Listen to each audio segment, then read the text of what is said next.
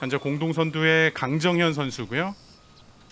세홀 연속 버디 이후에 파3 16번 홀입니다. 후반전에 들어오면서 더욱 더 강한 모습을 보여주고 있는데요.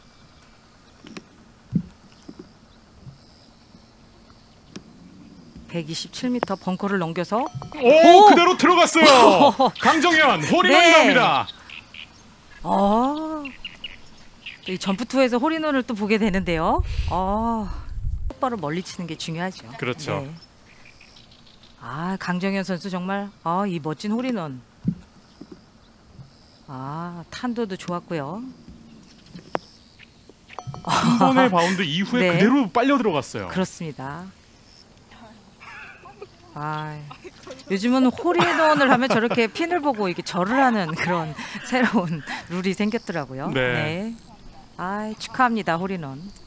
자, 그러면서 단숨에 선두로 올라가